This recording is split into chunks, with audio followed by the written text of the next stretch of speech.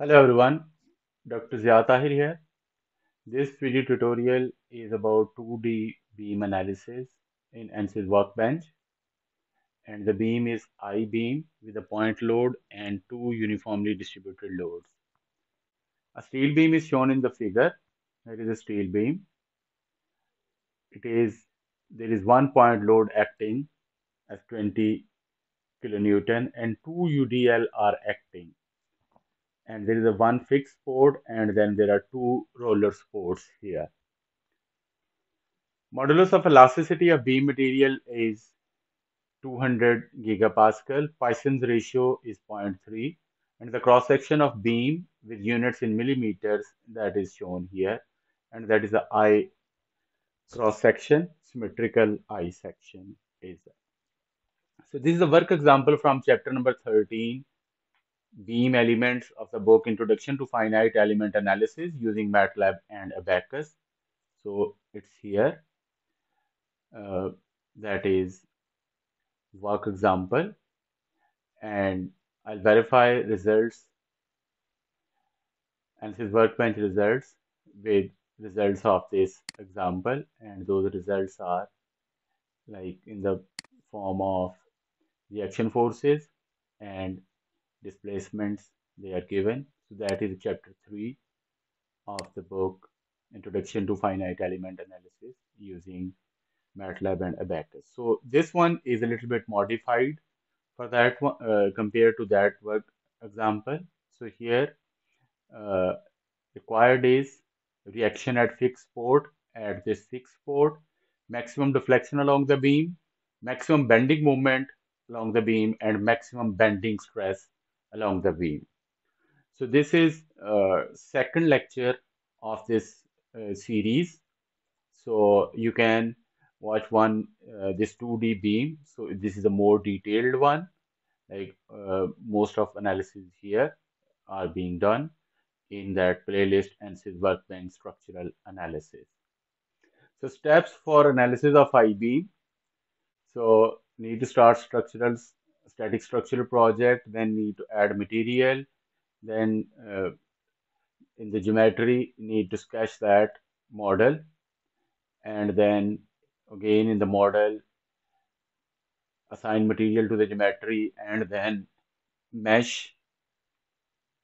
Then in the setup static structural apply boundary condition in terms of supports and then apply loads and then the solution what is required that reaction at fixed support then uh, deformation like deflection in y direction then bending moment along the beam and then normal stress. And then the results so these are the results. So these are the steps which i'll follow to solve that i beam the first step is to start static structural project in the workbench. So that is a workbench and here is analysis system. So in analysis system, need to start a static structural project. So that is a static structural project and these are seven steps which I have just described. So these steps I'll follow to analyze that beam. So save that project and I have saved it as beam 2D. So I saved that. Next step is in engineering data need to add material and that is a linear elastic isotropic elasticity. So for that one here, double click on engineering data. When you double click on engineering data, the default material here is a structural steel. I'm going to disable that and I'm going to add a new material here, steel. And here, so that is created. Now there's a question mark. So from linear elastic, isotropic elasticity need to drag in there and then here the Young's modulus with the units of uh, Pascal 200 e raised power 9 and then Poisson's ratio as 0.3 so that material is being added. So save it and then so that material is saved. Now I'm going to close that material. So now you can see that is take on engineering data and a new material given in the problem that is being. Next step in the geometry select analysis type, basic geometry options, line bodies, and analysis is 3D. So for that one here in the geometry, so basic geometry option is the line bodies and 3D. Always a 2D problem, but uh, if you select here 2D, so Workbench will not solve it, so that's why I need to keep it as 3D.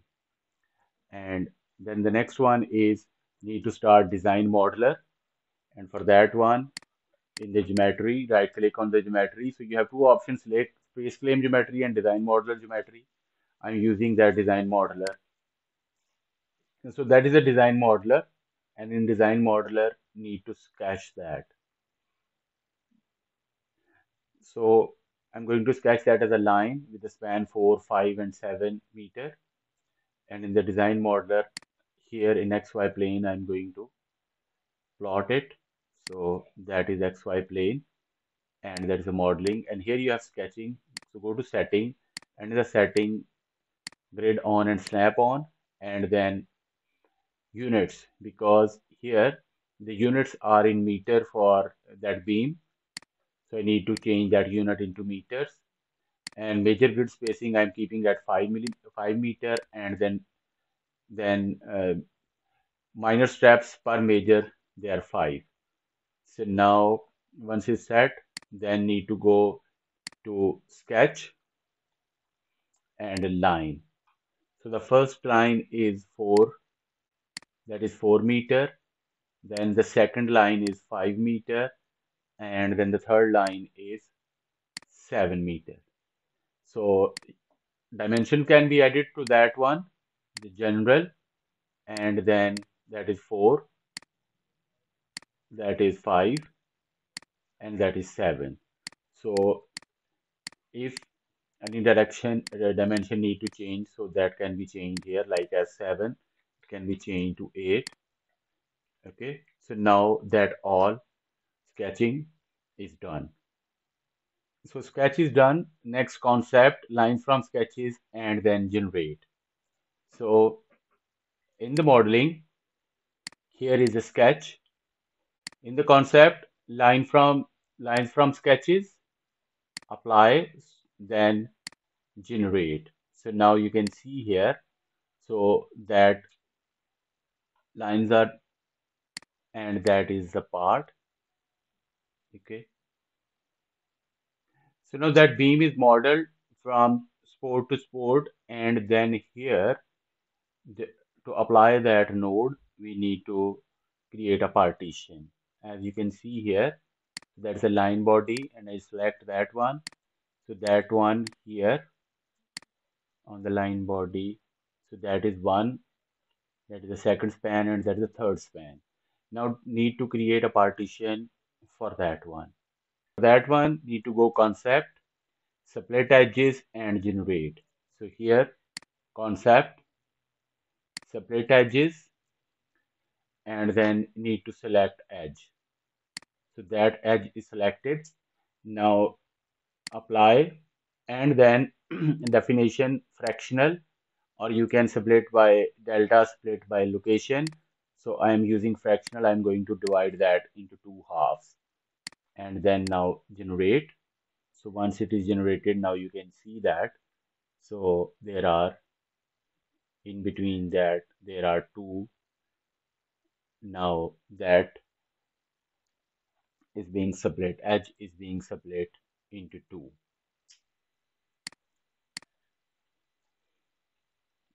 Now the next one is need to create a section and there is a cross section is I. And these are the dimensions of that I beam and all units are in millimeters. So for that one first I need to change units to millimeters. Then concept here cross section and here you have I section there so that is I section so need to add values to that one. So now W1, that W1 correspond to that lower web. That the length of lower web. So both webs are 172. So that is 172. And the upper one is also 172. So W1. So both webs are now here both are 172 and then that that w3 W3 is the overall height of the section and overall height of the section is 359 so that is 359 and then and then T1 and T2 so T1 is the here you can see so that is the T1 T1 is the thickness of lower web and that is the T2 that is the thickness of upper web. So now the thickness of lower and upper web both they are 13 so that is 13 so if uh, these are the thickness of the flange flanges. And for the web that is the web t3 that is the thickness of there is t3 that is the thickness of web. And the thickness of web is the thickness of web is 8 millimeters. So then I can add here 8 millimeter. And now all these dimensions. So they are being added to that one. So 172 millimeters that is the thickness of both flanges. 172 and then overall height is 359 and then thickness of upper and lower flange that is 13 and thickness of web is 8 so now once all that dimensions are added so now I'm going to create that one and rename that as I section. Once that section is being defined, the next one, go to line body and assign cross section.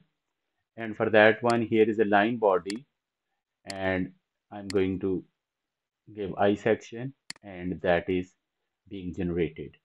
So now in the view, I can see cross section solids and then you can see that that is the orientation of the beam. The orientation of the beam is not as what we are looking for because the load is being applied in the vertical direction which is y-axis and we need to change that beam orientation of the beam so that it can carry load.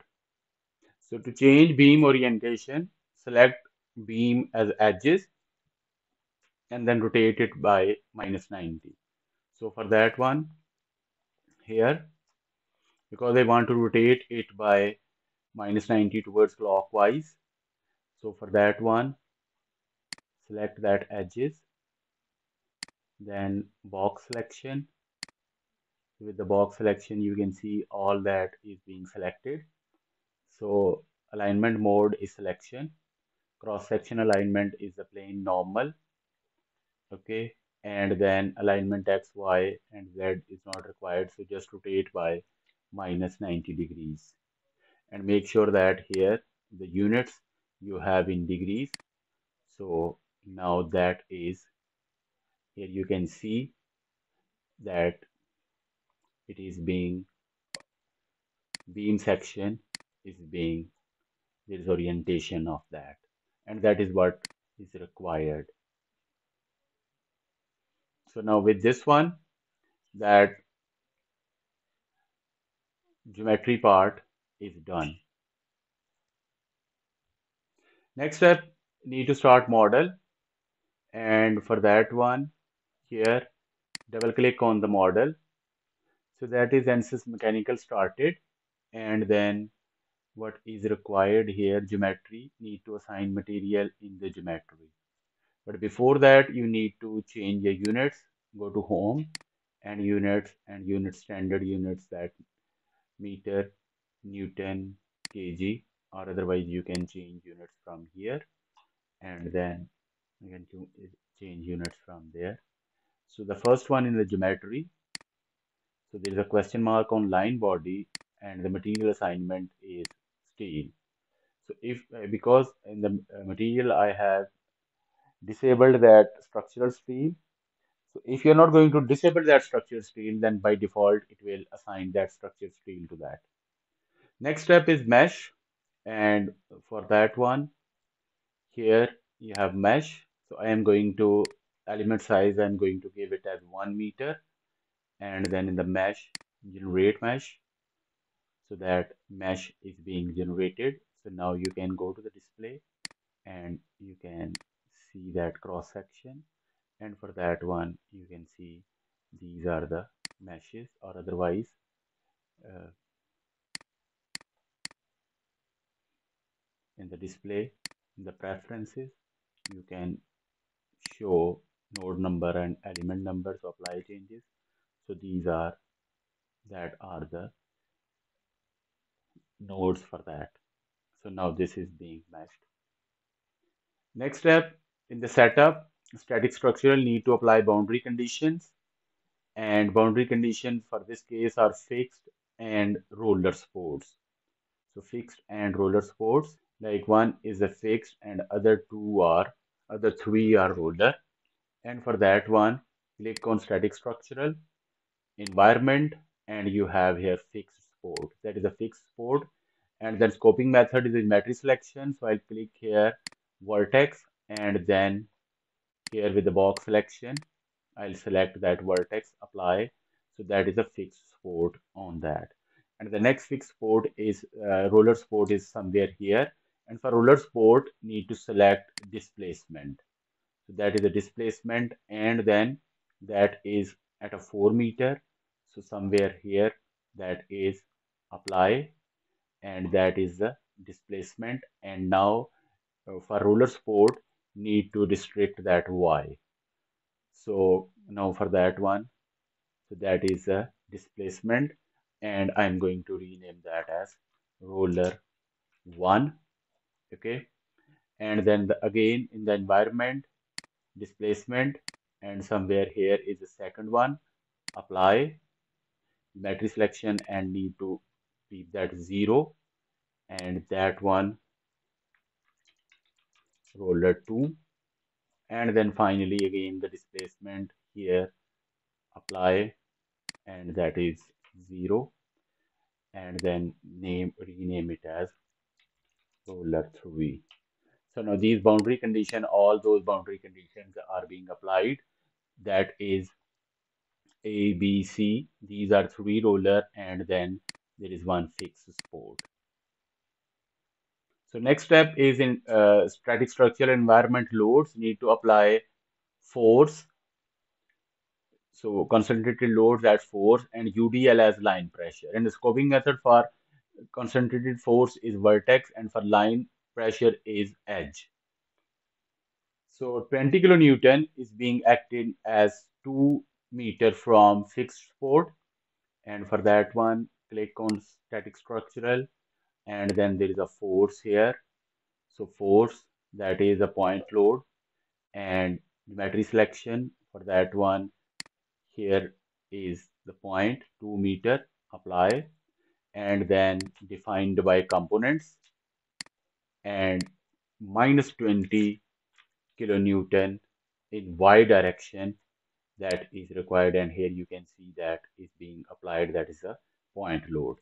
And then uh, here in the loads you have that here is line pressure. So line pressure I am going to rename that as UDL1 and UDL1 is from so UDL1 is from uh, 4 to 9 meter and it's uh, it's 4 kilonewton. So then UDL1 so from here is by default change to the edge. So then that edge is selected apply and then defined by components.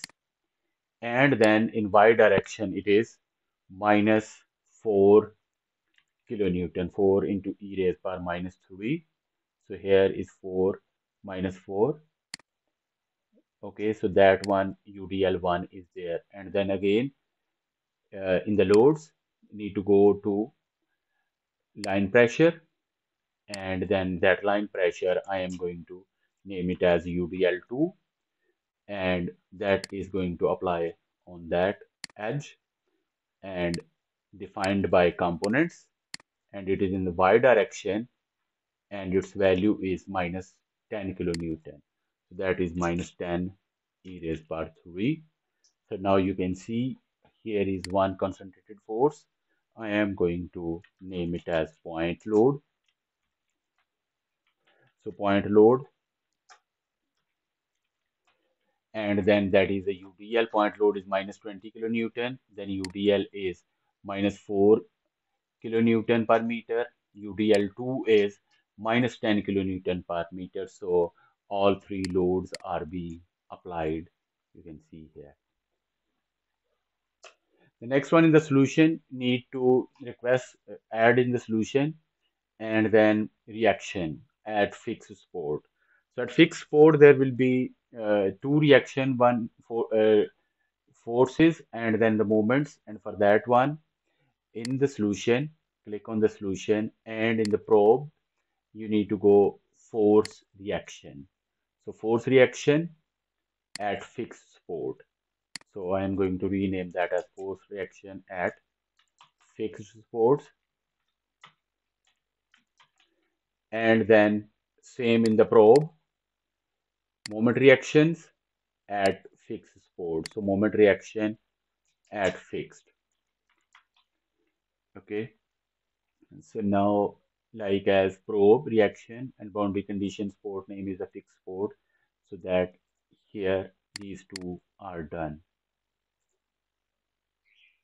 the next one deformation required in vertical direction and for that one directional deformation need to select scoping method is geometric section and orientation is y-axis.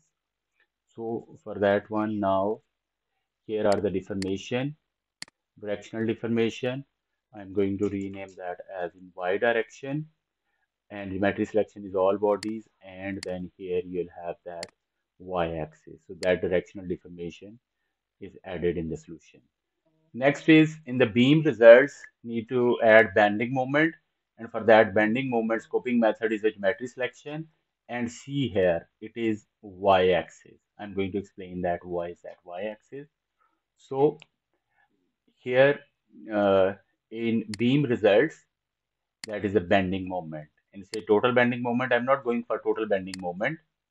And it is directional bending moment and in the display i can see that results of that so initially when uh, in the DesignModeler the beam was selected so it was oriented other way. So we have changed its orientation and only for beam results in the solution that only for beam results it is the it, it will calculate by rotating that one.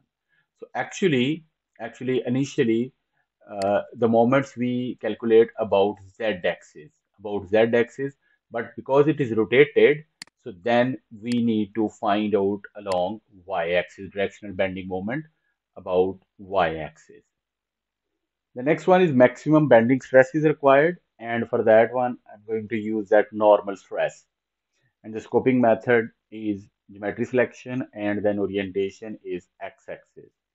Now for this one here you can see there is nothing in the stress or strain so to get that one need to click on the solution and in the solution it's a beam section results so I'll say here yes. When you do that beam section results, now you can see you have the stresses. So actually I am interested in the normal, uh, so bending stress, definitely that when the beam is going to bend with the application of load, so that is similar as normal stress. So I am going to use that normal stress here. And then for the normal stress, orientation is x-axis. So now all that parameters are added to the solution. The next one is solve and it is pretty much straightforward and simple. Just click on the solution and solve. It will take a little bit time for that all to here to get uh, so here are green ticks on that. It means that all is solved. So now there are green ticks on all that so solution is done. The result first need to find reactions. And for that reactions here you have like fixed force reaction. So reaction at fixed force. So you can see that there is only in y direction because the loads are only applied in y direction 13.7 kilonewton and that in z direction that is just zero about zero and the moment So the moment here in x direction that is like almost zero, y is almost zero, and only in the z direction that is 14743. And these results are very much in line with the directional bending moment when you will get that. The next is uh, maximum deflection and the maximum deflection I requested in y-axis. And for that one here directional deformation in y-axis. And then I'm looking for maximum and minimum. So that these are the values. So for better visualization I'm going to select that in millimeters. So the maximum uh, directional deformation so then the maximum value can be found using probe and here and then there. So actual maximum deformation is 6.1749 millimeter because it is taking the magnitude. That's why it is showing here maximum and minimum. So that's the maximum uh, deflection is somewhere under that second UDL which is 6.1832 that is the value of that. So the next one need to find bending moment, maximum bending moment, and for maximum that is a directional bending moment. And directional bending moment I requested in y-axis. And then here is a maximum value there. And then here is the minimum value. So when I probe the values for that so where it is maximum uh, okay so somewhere there. And then